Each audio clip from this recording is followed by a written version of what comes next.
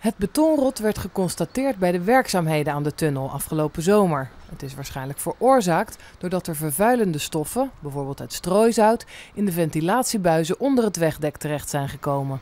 En eh, als gevolg daarvan is een, bovenste laag van het beton losgelaten. En onder die laag, een paar centimeter maar onder die laag, ligt de bewapening. En die is vrijgekomen. En wanneer dat ontstaat, dan verliest de tunnel een zekere mate van zijn stijfheid en kracht. En dat kun je niet te lang uh, zo laten.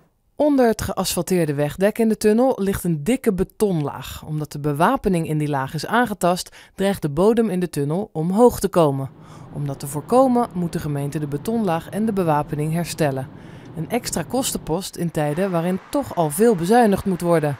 We hebben een pot opgebouwd in de afgelopen periode om onderhoudswerkzaamheden aan tunnels en bruggen en zo te kunnen dekken.